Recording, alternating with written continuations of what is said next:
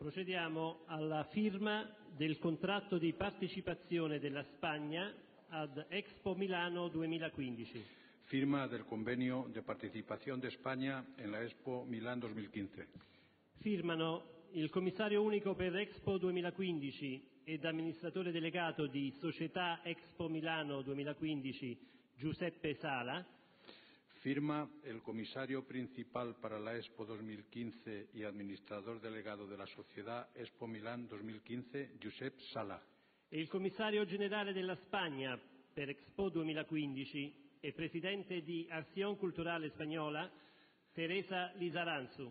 La comisaria general de, de España para la Expo 2015 y presidenta de la Asociación Cultural Española, señora Teresa Lizaranzu.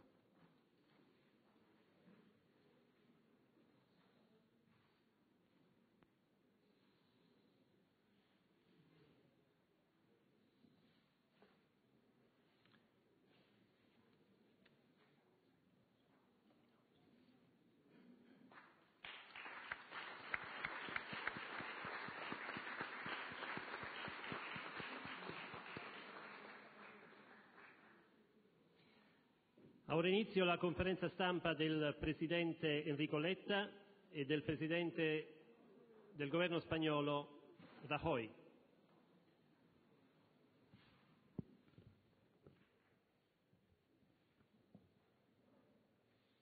Innanzitutto ancora un benvenuto ai colleghi spagnoli, al Presidente Rajoy e a tutta la delegazione.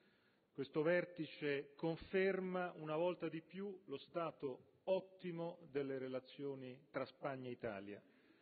Uno stato ottimo delle, rela- delle relazioni che è stato dimostrato dai tanti punti in comune che sono emersi nella nostra eh, discussione di oggi e che sono poi evidenziati nella dichiarazione congiunta.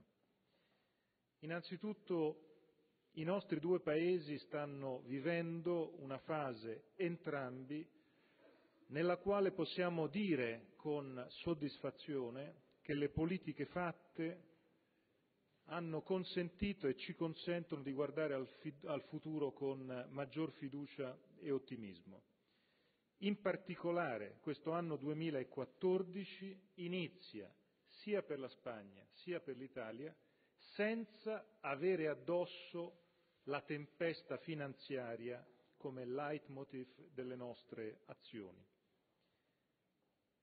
La Spagna e l'Italia hanno avuto alla fine dell'anno scorso, quindi nell'ultimo trimestre del 2013, dati che confermano la ripresa della crescita e ci aspettiamo nell'anno 2014 un anno di crescita sia in Spagna che in Italia. Questo è sicuramente per noi un elemento importante ed è un elemento che vogliamo consegnare all'intera Unione Europea, perché riteniamo che la legislatura che si apre dopo le elezioni europee di maggio possa essere la legislatura della crescita. Ed ecco perché attorno a questo tema abbiamo toccato insieme molti punti nella nostra discussione. Vogliamo che la legislatura che inizierà con il mese di giugno e quindi il semestre italiano del primo di luglio apra una legislatura che sia la legislatura della crescita e dell'occupazione, dopo che dal 2009 fino adesso, al 2014, noi abbiamo vissuto invece una legislatura intera tutta concentrata su solamente austerità e emergenza finanziaria. Oggi ci sono le condizioni perché si apra invece una legislatura europea centrata su crescita e occupazione e noi vogliamo lavorare in questa direzione. Per lavorare in questa direzione il punto di riferimento che ci accomuna è l'obiettivo delle quattro unioni. Noi vogliamo realizzare l'unione bancaria, vogliamo realizzare l'unione fiscale, vogliamo realizzare l'unione economica e vogliamo realizzare l'unione politica. Innanzitutto l'unione bancaria. abbiamo condiviso la soddisfazione per il risultato di dicembre del Consiglio europeo che ha deciso, che ha preso delle decisioni importanti sul meccanismo unico di risoluzione bancaria, però oggi da qui, da Roma, vogliamo dare un messaggio molto forte a livello europeo, mentre è riunito l'Ecofin e l'Eurogruppo a Bruxelles, vogliamo dire con grande forza si chiuda l'unione bancaria dentro questa legislatura, non si sposti la chiusura della vicenda alla prossima legislatura del Parlamento europeo. Sarebbe un segnale pessimo e noi non vogliamo dare questo segnale ai mercati, mercati che hanno dato sicuramente dei risultati positivi agli sforzi di Spagna e Italia, mercati che però proprio sui tassi di interesse hanno dimostrato in questi ultimi giorni come è bastato il vento di una crisi in Argentina per dare il segno ancora di una volatilità dei mercati dei tassi di interesse. E quindi, a maggior ragione, noi diciamo è necessario che il meccanismo unico di risoluzione bancaria venga approvato nel rapporto tra Consiglio, Commissione e Parlamento europeo entro questa legislatura del Parlamento europeo e sarebbe un errore se si dovesse spostare alla prossima. E questo messaggio Spagna e Italia lo danno qui da Roma in modo molto, molto, molto forte.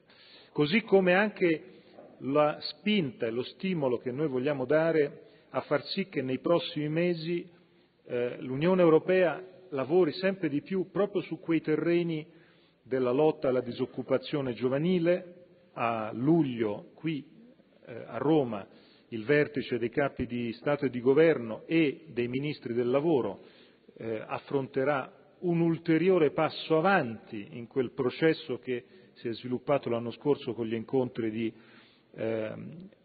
Berlino, di Parigi, di Roma e di Madrid, che hanno affrontato a diversi livelli questa grande emergenza. Per noi la lotta alla disoccupazione giovanile a livello europeo e anche nei nostri paesi rappresenta la grandissima priorità e quindi ognuno di noi è impegnato in questa direzione, ma ognuno di noi vuole lavorare perché a livello europeo non ci si accontenti della partenza della cosiddetta garanzia per i giovani, ma si facciano ulteriori passi avanti. Così come riteniamo che a livello europeo il lavoro perché il finanziamento alle piccole e medie imprese trovi degli strumenti più forti e innovativi. Crediamo che quanto fatto fino adesso sicuramente vada nella buona direzione, ma sia ancora troppo poco.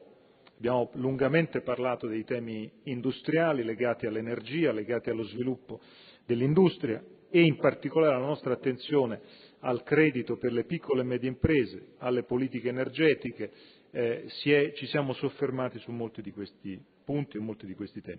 Abbiamo lungamente parlato delle altre emergenze europee e in particolare dei temi sui quali Spagna e Italia tradizionalmente eh, svolgono un lavoro comune e sui quali l'Italia vuole fare della sua presidenza dal primo luglio una presidenza per certi versi eh, che sia congiunta, che ci porti a lavorare insieme, penso alla questione del Mediterraneo e delle migrazioni, che riteniamo essere sicuramente saranno uno dei punti chiave del lavoro che svolgeremo insieme e ovviamente del lavoro che nel Consiglio europeo di giugno, quando affronteremo questa tematica, eh, ci vedranno sicuramente insieme. Voglio aggiungere in questo momento così particolare anche la preoccupazione comune eh, che Spagna e Italia vogliono esprimere sulla situazione drammatica che si sta sviluppando in Ucraina. Per quanto ci riguarda è intollerabile il ricorso alla violenza che si è sviluppato in quel Paese, le porte dell'Europa sono aperte all'avvicinamento e un giorno all'ingresso dell'Ucraina e chiediamo quindi, lo chiederà con forza eh, Lady Ashton giovedì a Kiev, che il dialogo riesca a recuperare e a superare eh, questa situazione drammatica di ricorso alla violenza che vede ai confini dell'Europa, sull'Europa, un grande paese come eh, l'Ucraina dividersi e vivere eh, spargimenti di sangue come quelli che abbiamo vissuti. Infine, su alcuni temi eh, congiunti, di lavoro congiunto, abbiamo espresso, eh, esprimo anch'io soddisfazione per un lavoro molto forte e serio che abbiamo fatto insieme, penso ai temi della difesa, Spagna e Italia lavorano su molti teatri complessi, difficili della politica internazionale. In Libano siamo insieme gomito a gomito e abbiamo lavorato, lavoriamo e continuiamo a lavorare benissimo. La stessa cosa vale eh, in Afghanistan, la stessa cosa avviene a Djibouti. Credo che questo sia un punto essenziale e sono molto grato al Presidente Rajoy anche per le parole di profonda solidarietà e anche per il lavoro congiunto che Spagna e Italia possono fare per rendere ancora più evidente la particolarità della situazione che l'Italia sta vivendo nel rapporto con l'India per quanto riguarda i nostri due fucilieri di marina, eh, La Torre e Girone. Abbiamo eh, con grande soddisfazione assistito alla firma qui della partecipazione della Spagna a Expo 2015 Milano. Per noi Expo 2015 Milano rappresenta sicuramente una delle più grandi priorità di questi tempi, sia per l'argomento, il cibo, l'alimentazione, la sicurezza alimentare, sia perché per l'Italia rappresenta un fortissimo volano di sviluppo che sicuramente aiuterà, ci aiuterà in tutto quest'anno a raggiungere quei risultati di crescita almeno all'1% e arrivare al 2% di crescita l'anno prossimo, grazie anche all'Expo, cosa che rappresenta per l'appunto il nostro obiettivo fondamentale. Infine non sto a citare tutti i temi di eh, tipo bilaterale che abbiamo toccato, sarebbero tantissimi, dai temi della salute, ai temi della ricerca, ai temi eh, delle infrastrutture, questioni molto importanti.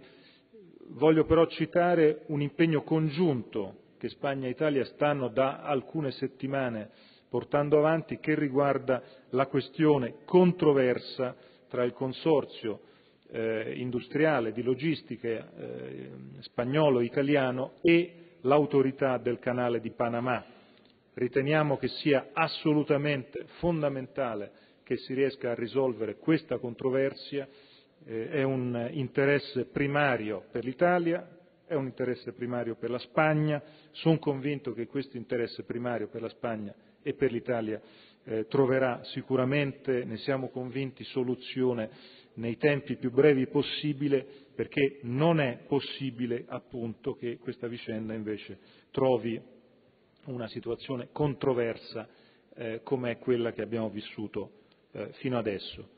E quindi, caro Mariano, grazie ancora per la tua presenza, grazie per la vostra amicizia e confermo ancora una volta quanto il rapporto così sintonico e forte tra Spagna e Italia faccia bene a un'Europa che sia più orientata alla crescita e all'occupazione e in questo senso lavoreremo anche nei prossimi mesi. A te la parola. Y señores, muy, buenas tardes a todos. Bien, eh, quisiera comenzar estas eh, palabras que necesariamente han de ser breves porque mmm, el presidente Leta ha explicado eh, muy bien cuáles fueron los acuerdos más importantes a los que hemos llegado en el día de hoy y eh, los temas que hemos tratado a lo largo de las distintas reuniones que se han celebrado tanto por los presidentes del Consejo de Ministros como por los diferentes ministros y secretarios de Estado. Quisiera comenzar esta intervención agradeciéndole al eh, presidente del Consejo de Ministros de la República Italiana, Enrico Letta, su magnífica acogida, también a los ministros y secretarios de Estado y a todos sus colaboradores. Y quiero decirles que hoy, una vez más, he podido constatar que ambos tenemos una voluntad inequívoca de continuar estrechando los intensos lazos que existen entre nuestras dos naciones. Bien, como recordarán ustedes, en 2012 en Madrid recuperamos la costumbre de celebrar estas cumbres bilaterales de manera regular y a pesar de que esta cumbre tuvo que ser pospuesta el pasado mes de diciembre por la celebración de los funerales de Nelson Mandela, nuestro compromiso es fuerte y solo un mes después nos encontramos hoy aquí en Roma. Como ha señalado el presidente eh, Letta, además de las cuestiones incluidas en la declaración formal de la cumbre, durante nuestra reunión hemos acordado llevar a cabo una acción común ante las instituciones europeas para lo siguiente. Primero, para impulsar la política industrial. En segundo lugar, para promover el empleo juvenil en toda la Unión Europea, más allá de los instrumentos ya existentes, como puede ser la iniciativa juvenil. Ambos le damos mucha importancia a la cumbre europea sobre empleo juvenil que tendrá lugar aquí en Italia el próximo mes de julio. En tercer lugar, eh, ambos estamos de acuerdo y trabajaremos conjuntamente en continuar por la senda de la integración europea a nivel económico, fiscal y político, las cuatro uniones junto con la bancaria. Y por último, eh, también eh, ha habido un acuerdo y es un acuerdo que nace de la convicción de que es lo que hay que hacer, que es acelerar la puesta en marcha de la unión bancaria. Bien, eh, estos acuerdos son una muestra clara de la utilidad de estas cumbres. Como les he dicho en la declaración conjunta que se les ha distribuido, en resumen, los temas tratados y sus resultados están allí, así que me limitaré a destacar los aspectos más importantes que he tratado con el presidente Letta. En primer lugar, como saben, y él ha recordado, hoy hemos firmado la participación de España en la Exposición Universal de Milán, que tendrá lugar en 2015 y que estará dedicado al desarrollo sostenible y a la alimentación. España, como recordarán, o Italia, fue uno de los participantes más importantes de la Expo de Zaragoza y para España será un honor poder participar en la de Milán, que estamos absolutamente convencidos de que será un éxito. Gran parte de nuestra reunión la hemos dedicado a la agenda europea, sobre la que tenemos una perfecta sintonía. Creemos que la salida de la crisis exige una mayor integración económica y política y, para ello, una agenda de reformas nacionales y europeas. Nosotros vamos a continuar aplicando nuestra ambiciosa agenda de reformas de la que empezamos a vislumbrar los primeros frutos a lo largo de la legislatura. Me consta que el Gobierno italiano trabaja en la misma dirección y le deseo al presidente Letta el mayor de los éxitos, desde la convicción de que solo unidos podremos superar esta crisis. Si ustedes eh, miran hacia atrás, ustedes recordarán que hace poco más de un año en Europa se hablaba del rescate de algunos países, entre otros de España, se hablaba del futuro del euro, que algunos ponían en tela de juicio, se hablaba de las elevadísimas primas de riesgo y del precio que por su financiación, para financiarse, tenían que pagar algunos países como el mío, se hablaba de desempleo, se hablaba de falta de crecimiento y de poca competitividad. Pues bien, un año después de todo esto, nadie pone en tela de juicio la existencia del euro, ya no se habla con la misma intensidad que antes de las primas de riesgo, aunque todos nos gustaría que siguieran bajando, no se habla del rescate de nadie. En lugar de hablarse de ausencia de crecimiento, ya se hablaba, como recordaba el presidente del Leta, de que se inicia una etapa de crecimiento, ya se estabiliza la situación del empleo y yo creo que el futuro lo podemos ver con una cierta esperanza, aunque tendremos que seguir haciendo todos los gobiernos grandes esfuerzos. Pero es lo cierto que yo estoy absolutamente convencido de que este año 2014 ya será un año de crecimiento económico y de creación de empleo en muchos países de la Unión Europea y el 2015 esta situación se va a consolidar de manera definitiva. Bueno, todo esto es muy importante. Esto no quiere decir que no sigamos eh, que, que teniendo que hacer un gran esfuerzo, pero desde luego también quiere decir que los esfuerzos acaban produciendo resultados. Eh, como les he dicho con anterioridad, eh, queremos que la unión bancaria sea una realidad cuanto antes, puesto que es un instrumento imprescindible para superar la fragmentación de los mercados y las dificultades de acceso al crédito de las pymes, así como el círculo vicioso de la deuda bancaria y deuda soberana. Hay otro dato importante. En diciembre hemos alcanzado un acuerdo sobre el mecanismo único de resolución. Es una buena noticia y ambos estamos de acuerdo en que sería deseable que el Parlamento Europeo lo eh, ratifique con prontitud. También eh, hemos acordado, se lo decía al principio de mi intervención y en la suya el presidente Enrico Letta, impulsar los demás pilares de la necesaria reforma de la Unión Económica y Monetaria, es decir, la integración económica, fiscal y política. Nuestro objetivo prioritario es debe ser y seguirá siendo el empleo juvenil, así como el apoyo a las pequeñas y medianas empresas que juegan un papel esencial en la economía europea, tanto en términos de valor añadido como en empleo. En España, más del 80% de las personas que trabajan lo hacen en una pequeña y mediana empresa. Y además eh, hemos acordado coordinar nuestra acción de cara al Consejo Europeo de marzo, donde se tratarán temas importantes como la política industrial, el cambio climático y la política energética de eh, la Unión Europea. Este es un tema muy importante. La energía en Estados Unidos es, eh, es mucho más barata que en el conjunto de la Unión Europea, exactamente la mitad esto es un elemento de competitividad fundamental para nuestra industria y para la generación de empleo y, por tanto, es un asunto al que debemos prestar la máxima eh, atención. También hemos hablado de otro tema que a todos nos preocupa, eh, a unos de una forma, a otros de otra manera, pero a los países del Mediterráneo es algo con lo que hemos convivido a lo largo de los últimos años, que es la política de inmigración. Queremos, por parte de la Unión Europea, una mayor eh, implicación y creemos que en el medio y largo plazo no hay más solución que ayudar a esos países de donde mucha gente sale porque no tiene otra alternativa en su vida. Creo que eso se puede hacer y creo que la Unión Europea formada por 28 Estados nacionales, tiene la capacidad económica suficiente, la fuerza, la potencia y todo lo que es necesario para ayudar a mejorar estos países y, al mismo tiempo, para construir. Por último, hemos tocado diversos asuntos de lo que es la política internacional. Se ha referido a ellos el presidente Letta. Yo, por tanto, no voy a insistir. Hemos hablado de Siria. Eh, no son conversaciones fáciles las que están teniendo lugar en Ginebra, pero sí, por lo menos, ya hemos visto algo como es la circunstancia de que se va a abrir un corredor para que pueda llegar la Unión, eh, la ayuda humanitaria a muchísima gente que está en su país desplazado o que ha tenido que irse a otros países como Líbano, Jordania, que tienen muchas dificultades para acogerlos a todos. También hemos hablado de Irán, del proceso de paz entre israelíes y palestinos, de Libia y también, como recordaba el presidente Letta en su intervención, de eh, Ucrania.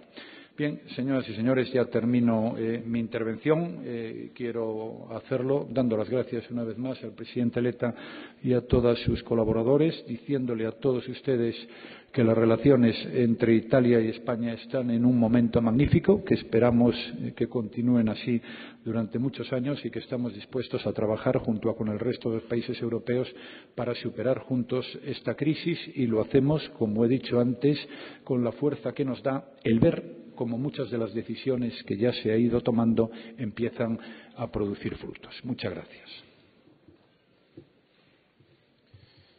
Sí, buenas tardes, presidente. Buenas tardes, primer ministro italiano. Una pregunta en clave económica, si me permiten, para, ambos. Han dicho que han tratado el, asunto del canal de Panamá. No sé si han ido más allá de algo más concreto, de alguna intervención concreta sobre, este asunto, que hay interés empresarial repartido entre ambos países. En clave económica también, la crisis de la divisa en Argentina eh, le preocupa que se extienda como se está extendiendo en, los mercados europeos. Y luego, si me permite, señor Rajoy, eh, conocida la renuncia de Mayor Oreja para encabezar la lista al Parlamento Europeo, eh, bueno, lamenta esa, esa decisión. ¿Es una coincidencia que haya que haya coincidido también con la renuncia de Vidal Cuadras. Muchas gracias. Sulla, sulla questione di Panama, di Panama abbiamo non soltanto eh, voluto affrontare questo tema, ma abbiamo voluto anche dare qui, attraverso di voi, attraverso eh, i rappresentanti della stampa, un messaggio molto forte che io penso arriverà eh, con altrettanta forza fino a Panama, credo che sia molto importante che una soluzione sia rapida e che una soluzione sia giusta ed equa. Noi questo ci aspettiamo, i nostri eh, ministri, i nostri due ministri, e ringrazio moltissimo la ministra spagnola che era a Panama qualche settimana fa, hanno e stanno operando congiuntamente, quindi abbiamo eh, dato loro il mandato di essere il più attivi e il più presenti possibili su un dossier che per quanto ci riguarda rappresenta oggi una delle emergenze eh, prioritarie. Per quello che riguarda l'Argentina eh, è evidente che un po' di preoccupazione c'è, però io sono anche convinto che se la crisi argentina fosse capitata un anno fa, oggi saremmo qui in ben altra condizione di preoccupazione. La crisi, eh, le preoccupazioni sull'Argentina che emergono oggi trovano un'Unione Europea che è molto più solida, trovano un euro che è sicuramente più solido e trovano una maggiore capacità di far fronte a questo tipo di preoccupazioni, quindi io sono convinto che si riuscirà ad affrontarle e si riuscirà ad affrontarle nel modo eh, migliore possibile. Eh, bien, muchas gracias. Bien, en realidad la respuesta que voy a darle a la primera de sus preguntas, eh, la construcción del Canal de Panamá es exactamente la misma eh, que ha dado el el, presidente Letta. Nosotros estamos siguiendo muy de cerca las negociaciones en curso. Eh, tenemos eh, la esperanza de que se va a producir una solución rápida y pronto y creemos que en espera de la sentencia arbitral la conclusión de los trabajos en la fecha prevista es por lo que todos debemos apostar. Creemos que en este momento pues un bloqueo de los trabajos sería un perjuicio irrazonable y grave y que no debiera producirse. En relación al, asunto de Argentina, eh, yo estoy de acuerdo, la situación del euro hoy es muy diferente eh, que la que teníamos, lo he dicho, hace escasos minutos, hace poco más de un año. En cualquier caso, eh, yo sí quiero decir eh, que esperamos que la situación en Argentina se estabilice cuanto antes. Yo espero que eso sea así. Argentina es un gran país, Argentina es un país eh, amigo, nos unen eh, todo tipo de relaciones, de todo tipo, ya no solo las históricas, las personales, las afectivas. También hay muchas empresas españolas que han hecho inversiones importantes en Argentina, que están ahí para quedarse, que están ahí trabajando, obteniendo sus beneficios, pero también rindiendo un servicio y, por tanto, eh, insisto, deseamos que las cosas se arreglen a la mayor celeridad posible, que la situación se estabilice, pero el euro tiene la fuerza y la potencia eh, suficiente para continuar adelante. En relación a, la tercera pregunta, que es una pregunta sobre temas específicamente españoles, eh, yo he, hablado con eh, Jaime Mayor Oreja pues ya hace algunos días sobre este asunto. He vuelto a hablar el, pasado jueves, la primera vez fue antes de la reunión que tuvimos en Toledo. Él ya me manifestó su voluntad yo, lógicamente, tengo que respetarla. Ya lleva diez años en el Parlamento Europeo. Eh, tengo de Jaime Mayor, como todo el mundo sabe, la mejor opinión. Nos conocemos desde hace mucho tiempo. Hemos formado parte en la oposición, pues, eh, en fin, de, de, un equipo eh, que trabajó mucho en la década de los 90. Después hemos coincidido en el Gobierno. Yo lo sustituí en su día al frente del Ministerio del Interior. Ha sido un excelente portavoz del Grupo Parlamentario eh, Popular en el Parlamento, tanto en Bruselas eh, como en Estrasburgo. Y eh, bueno, a partir de ahí él ha tomado esta decisión y, lógicamente, pues todos debemos respetarla. Él sigue con nosotros y estoy convencido de que seguirá en la actividad política. Eh, yo, de, de, la otra persona a la que usted se refiere, no, no puedo hablar porque lo he visto hoy en un medio de comunicación, pero, desde luego, no hilo ni junto ninguna cosa con la otra. Creo que son dos cosas diferentes. Buonasera Gavino Moretti, giornale radio, una domanda per entrambi i presidenti, per il Premier Letta e il Presidente Rajoy, se a fronte di questa spinta per una maggiore unione e integrazione economica bancaria avvertite invece il rischio che venga fuori una controspinta per un'Europa detta Europa light, un'Europa leggera, guidata dall'Olanda, dai paesi più ricchi, come si dice su alcuni giornali in queste ore, che punti invece a lasciare agli Stati nazionali una serie di materie e faccia dell'Europa una sorta di entità che interviene a livello di sussidiarietà quando i singoli Stati non ce la fanno. È chiaro che sarebbe un'impostazione diversa da quella che avete presentato oggi. Ma io um, credo invece che ci possa assolutamente essere un destino comune, perché più Europa vuol dire applicare la regola della sussidiarietà.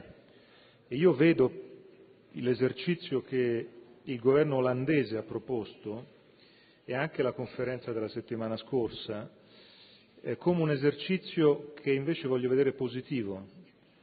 Ho avuto modo di parlarne con Mark Rutte, con eh, il ministro Timmermans anche recentemente e penso che se noi non ci rendiamo conto del livello di euroscetticismo che sta montando nelle nostre opinioni pubbliche e non facciamo delle scelte che risolvano eh, la paura che c'è da parte dei cittadini europei che troppo potere a Bruxelles senza risultati finisce per creare la convinzione che Bruxelles sia il problema e non la soluzione. Siccome io sono convinto che Bruxelles è la soluzione e non il problema, Bruxelles inteso come Unione Europea, dobbiamo fare in modo che funzioni un meccanismo che dia fiducia ai cittadini che a Bruxelles, dentro l'Unione Europea, si assumono le decisioni che è giusto che si assumano a quel livello. Tante decisioni è bene che si assumano a livelli diversi, perché la Spagna ha esigenze diverse dall'Italia, l'Italia ha esigenze diverse dall'Olanda e quindi è benissimo che la sussidiarietà si applichi. Io penso che la sussidiarietà non sia alternativa all'integrazione. Credo che ci sia bisogno di più Europa in alcuni campi, l'unione bancaria è uno di questi, sicuramente i temi della crescita sono altri, ma ci sono molte altre questioni sulle quali ogni singolo Paese può benissimo fare scelte eh, legate a sue specificità nazionali. Quindi io non vedo questo esercizio eh, in corso da parte olandese come un esercizio contro l'integrazione europea, anzi trovo assonanze, io sarò a eh, all'Aia il 20 di febbraio a discutere proprio con Mark Rutte e Timmermans di questi temi, perché ritengo invece che ci possa essere su questi punti una sintonia e perché noi italiani siamo a favore di una applicazione dell'idea della sussidiarietà. Alcune scelte si prendono in basso, altre scelte si prendono a livello eh, europeo e a Bruxelles e soprattutto è miope oggi una leadership politica che non veda l'euroscetticismo montante. A questo euroscetticismo montante possono essere date tre risposte. La risposta dei populisti che lisciano il pelo a questo euroscetticismo e sperano di lucrarne voti. La risposta degli struzzi, di coloro che semplicemente mettono la testa sotto la sabbia, fanno finta di niente e continuano a parlare dell'Europa come era eh, 20 anni fa o, soltanto 10 anni fa. Invece c'è una risposta pragmatica di coloro che ritengono che l'Europa sia la soluzione e non il problema, ma che ci sia bisogno di un'Europa efficiente, non burocratica e in grado di affrontare in tempi certi la soluzione dei problemi. Per questa Europa noi ci battiamo e per questa Europa lottiamo.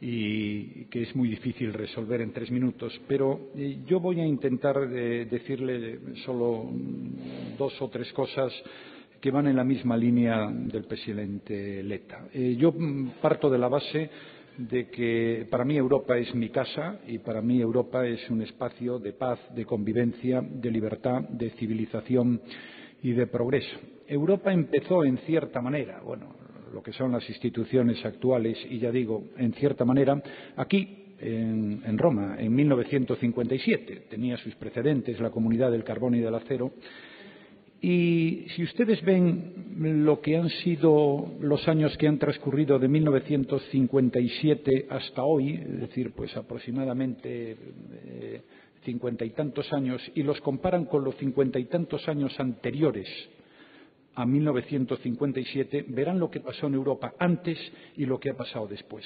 Para mí, Europa, como he dicho, es, es paz, es convivencia, es libertad, es democracia, es civilización y es progreso y luego, sin duda alguna, tendremos nuestros problemas y dificultades.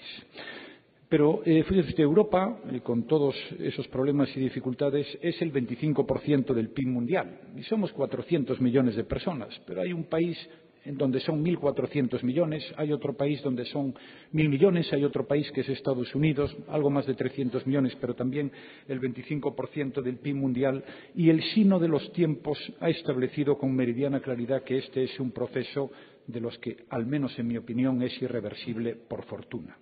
Y habrá cosas que son más complejas, habrá cosas que corregir, hay errores que se cometen, pero fíjese usted, ahora mismo acabamos de hablar de la unión bancaria. La unión bancaria es una prueba inequívoca de la voluntad de todos los europeos de seguir trabajando en esa dirección es que los bancos italianos o los bancos españoles ya no los va a supervisar el Banco de Italia o el Banco de España, va a ser el Banco Central Europeo. Es que cuando haya que liquidar un banco ya no será el organismo italiano o el organismo español de turno, sino que serán las propias instituciones europeas. Eh, yo, por tanto, eh, creo que este es un proceso muy positivo. Eh, yo creo que nada tiene que ver lo que han dicho, en fin, algunos a los que se ha referido usted en su pregunta y también el presidente Letta. Creo que es perfectamente compatible el proceso de Unión Europea y de avanzar en la misma con el principio de subsidiariedad que se aplica también en los Estados y, sinceramente, creo que esto es lo mejor que nos puede pasar a los cientos de millones de europeos que somos. Se hablaba aquí del euroescepticismo o del populismo. Este Parlamento que se va a elegir ahora, primer Parlamento fue el 79, este que se va a elegir ahora es el Parlamento Europeo de la historia que va a tener mayores facultades de decisión, pero va a tener muchas más competencias y, por tanto, mucho más poder que el que ha tenido nunca. Y sería triste, y no dejaría de ser sin duda alguna una paradoja, que este eh, Parlamento tuviera más euroscépticos y más contrarios a la idea europea, siendo el que tiene más competencias que ninguno. Yo espero que eso no sea así y que al final el Parlamento Europeo esté lleno de europeístas, porque los que están a favor son los que acaban construyendo. Cuando no se está a favor de una idea es muy difícil trabajar por ella. Buenas tardes, soy María Caru de Radio Nacional. Mis preguntas son para el presidente Rajoy. ¿Va a tomar alguna decisión, alguna medida para renovar la flota de aviones españoles después de los percances que ha vivido el príncipe? Eh, también, si me permite, si nos podría decir o dar alguna pista de quién va a sustituir al señor Mayor Oreza y sobre una de las leyes eh, más polémicas en los últimos tiempos, su anteproyecto, la ley del aborto, usted reconoció que tenía puntos controvertidos. Eh, quería saber cuáles son esos puntos controvertidos y si usted se compromete a que esa ley salga adelante en lo que queda de legislatura. Gracias. Eh, en relación con esta última pregunta, me va a permitir usted que ya no tenga nada más que añadir a lo que ya he dicho en su momento, además, en, en sede de la soberanía nacional en el Congreso de los Diputados. En relación al asunto de los aviones, supongo que está usted haciendo referencia al incidente que se ha producido en el viaje del príncipe de España a Honduras y, concretamente en Santo Domingo. Bueno, eh, nosotros hemos mandado el otro Airbus de que eh, disponemos eh, para que recoja al príncipe, que tenía que ir, yo creo que era precisamente en el día de hoy, a las Islas Canarias y aquí pues hemos venido utilizando el plan de incidencias habitual en estos casos. Bueno, nosotros vamos a, conocer exactamente eh, qué es lo que ha ocurrido hasta el momento presente. Ha habido algún que otro incidente, pero las cosas han funcionado siempre eh, razonablemente y hay mucha gente pues que viaja en esos aviones y lo hace con absoluta tranquilidad. No hay tomada ninguna decisión sobre este tema, pues lógicamente antes hay que tener los datos suficientes para hacerlo. Pero, eh, insisto, era una anomalía en un indicador de un filtro de aceite que ya se ha corregido. En fin, lo ideal es que estas cosas eh, no se produzcan y procuraremos que en el futuro eh, no vuelvan a, tener lugar. En cuanto a la segunda pregunta, eh, el sustituto como cabeza de lista todavía no lo hemos decidido, en realidad. Yo creo que son pocos partidos todavía los que lo han decidido, pero vamos, lo decidiremos cuando toque. No tenemos ninguna dificultad ni ningún problema en relación con ese asunto. Presidente Letta, Laura Cannavoti, G24, Mediaset. Eh, alla vigilia di questo importante appuntamento europeo, il governo italiano perde un altro pezzo, il ministro De Girolamo, e lei aveva annunciato che si sarebbe presentato a questo appuntamento con un patto impegno 2014 già varato, con una legge elettorale già in fase di eh, approvazione, mentre invece nessuna delle due cose ci sono allora io le chiedo come si presenterà in Europa se eh, questa stabilità di governo, che è sempre stata la stella polare della sua azione di governo, il dividendo della stabilità, insomma quello che abbiamo sempre ascoltato, se invece a questo punto non si può parlare invece di instabilità dopo questo oggettivo indebolimento del suo governo. Io penso invece di andare mercoledì a Bruxelles con un punto molto importante, perché ho sempre ritenuto e ho sempre detto che l'Italia ha bisogno di riforme per la competitività, ha bisogno di riforme economiche, ma forse una delle principali riforme strutturali di cui l'Italia ha bisogno è la capacità di decidere da parte del suo sistema istituzionale e politico. E noi abbiamo bisogno in particolare di una nuova legge elettorale e abbiamo bisogno in particolare di risolvere il problema del bicameralismo perfetto del nostro Paese. Io sono fiducioso del fatto che l'iniziativa che i partiti principali hanno deciso di assumere, in particolare il mio partito, il Partito Democratico, ha deciso di assumere per una nuova legge elettorale e per sciogliere la grande zavorra, il grande problema del bicameralismo perfetto, eh, possa arrivare al risultato positivo e il risultato positivo rafforza il governo e rafforza soprattutto l'Italia nel rapporto con il resto d'Europa. Quindi io conto invece che queste due scelte che sostengo e sostengo con grande forza, nuova legge elettorale e fine del bicameralismo perfetto, rendano l'Italia più forte, ci consentano quindi di affrontare a livello europeo non soltanto le riforme che l'Italia deve presentare, ma anche in prospettiva la capacità dell'Italia di guidare il semestre di Presidenza. Quindi ritengo invece che questo possa essere molto positivo. Aggiungo che arriviamo a Bruxelles mercoledì forti delle decisioni assunte in materia economica con in particolare un importante pacchetto di privatizzazioni decise e oggi operative e con un importante intervento per la voluntary disclosure, per il rientro e l'emersione dei capitali eh, all'estero, che è stata valutata e mi sembra giudicata positivamente da tutti gli addetti ai lavori e quindi mi consente e ci consentirà a Bruxelles di presentare le riforme che l'Italia ha intenzione di applicare quest'anno con, son sicuro, buon esito e buon successo. Però, ripeto, in tutto questo la questione delle riforme istituzionali, la legge elettorale e la fine del bicameralismo perfetto rappresentano sicuramente il pilastro principale. Quindi il più felice se su questi due temi si raggiunge un risultato il più rapidamente possibile sono io e il Governo e la capacità quindi dell'Italia di presentarsi a Bruxelles avendo risolto una delle questioni per le quali siamo sempre visti con un pochino di diffidenza, cioè un Paese che annuncia, che discute, ma che alla fine fa fatica a decidere e ad applicare le decisioni che assume. Quindi questo è lo spirito e per quanto mi riguarda il mio spirito è assolutamente costruttivo per aiutare, per quel poco che posso fare, perché sono decisioni che spettano al Parlamento, ma per quel poco che posso fare lavoro per aiutare un buon accordo e una rapida applicazione di queste due riforme. Grazie.